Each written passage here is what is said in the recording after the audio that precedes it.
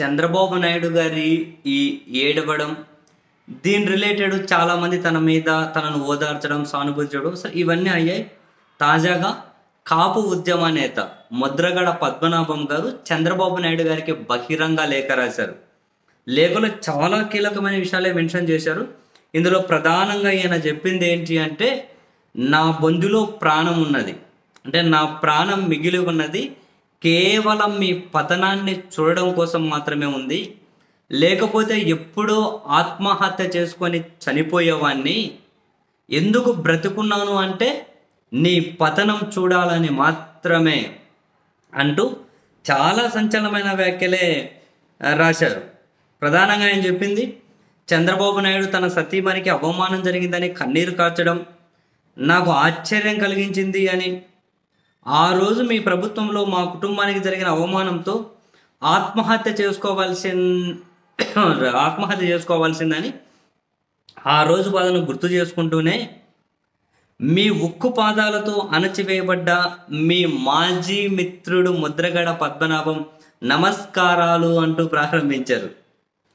అయ్యా మీ శ్రీమతి గారికి ఈ మధ్య జరిగిన అవమానం గురించి తమరు చాలా బాధపడుతూ ఆవేదనతో వెక్కి వెక్కి కన్నీరు కార్చడం టీవీలో చూసి చాలా ఆశ్చర్యపోయానండి అంటూ స్టార్ట్ చేసి ఇంతకుముందు చంద్రబాబు నాయుడు గారు అతను ఎంత అవమానాలు పడ్డారు ఎంత ఇబ్బందులు పడ్డారు ఇవన్నీ బాగానే మెన్షన్ చేసుకుంటూ వచ్చారు.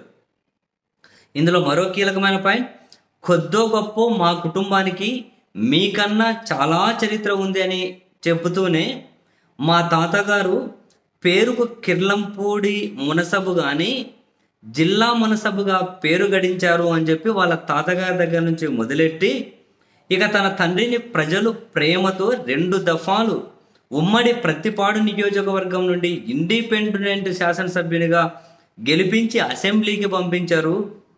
ఆ తర్వాత మీరు నేను ఇద్దరము పంతొమ్మిది వందల డెబ్బై ఎనిమిదిలో అసెంబ్లీకి అసెంబ్లీలో అడుగు పెట్టాము. మీ మామయ్య ఎన్టీఆర్ వద్ద ఆ తర్వాత మీ పిలుపు మేరకు మీ వద్ద చాలా సంవత్సరాలు నేను పనిచేశాను మీతో ఉన్న సమయంలో ఏనాడు మీకు వెన్నుపోటు పడవడానికి ప్రయత్నం చేయలేదు అని చెప్పి రాస్తూనే ఆ రోజు ప ముద్రగడ పద్మనాభం గారి ఇంటి చుట్టూ పోలీసులు ఆ దాడి ఇవన్నీ వాటిని గుర్తు చేసుకుంటూ ఆ రోజున హెలికాప్టర్ను తర్వాత మరొకసారి సుమారు ఆరు వేల మంది పోలీసులను ప్రయత్నించి నన్ను తిహార్ జైలుకు పంపాలని నిత్యం డ్రోన్ కెమెరాలతో నిఘా పెట్టించావు. నా ఇంటి వద్ద భయంకరమైన వాతావరణాన్ని సృష్టించి కార్గిల్ యుద్ధ భూమిని తలపించేలా చేశావు. తర్వాత ఆ సంఘటనను గుర్తు చేయడం కోసమే తప్ప నా ఈ లేఖ మీ శ్రీమతిని అవమానించడం కోసం ఈ లేఖ రాయట్లేదు. ఇంకా లోతుగా రాయాలి అంటే పేజీలు కూడా సరిపోవు. అంత దారుణంగా నా మీద అణచివేతకు పాల్పడ్డావు. గదిలో ఉన్న డబ్బులు సెల్ ఫోన్లు వీటన్నింటినీ ఆ రోజు దొంగలించారు. హాస్పిటల్ అనే జైల్లో బట్టలు మార్చుకోవడానికి కానీ స్నానాలు చేయడానికి కానీ వీలు లేకుండా పద్నాలుగు రోజులు ఏ కారణంతో నన్ను ఉంచావు అని చెప్పి మళ్ళీ ప్రశ్నించుకుంటూ ఆ చిన్న గదిలో మా నలుగురితో పాటు మరో ఆరుగురు పోలీసుల నుంచి రేఖ కుర్చీలతో శబ్దాలు చేస్తూ ఇబ్బంది పెట్టించావు. ప్రతిరోజు రాత్రి మీ ఆదేశాలతో పోలీస్ అధికారులు రాత్రి సమయాలలో మా ముఖాలను ఫోటోలు తీసి మీకు పంపించమని చెప్పి ఆదేశించావు.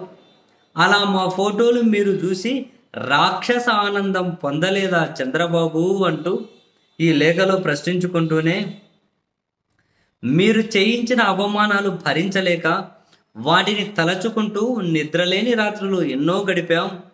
మా నాలుగు సంవత్సరాల మనవరాలు అర్ధరాత్రులు గుర్తుకు వచ్చి ఎలా భయపడేదో చెప్పడానికి మాటలు చాలు.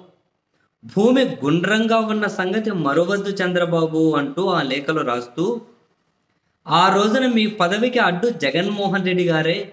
నేనైతే కాదు కదా అయినప్పటికీ వారిపై ఏ రకమైన అణచివేతను చూపించకుండా నా మీద కట్టలు తెంచుకునే కోపం క్రూరత్వం ఎందుకు చూపించావు చంద్రబాబు? మీ అణచివేతతో మా కుటుంబం ఆత్మహత్యకు పూనుకోవాలి అనేది మీ ప్రయత్నం కాదా?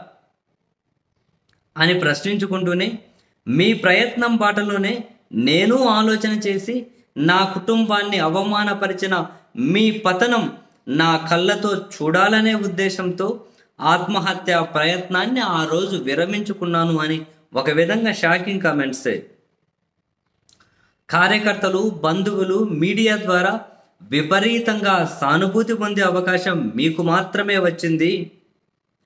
ఈరోజు తమరు పొందుతున్న సానుభూతి ఆనాడు నేను పొందకుండా ఉండడం కోసం మీడియాను బంధించావు.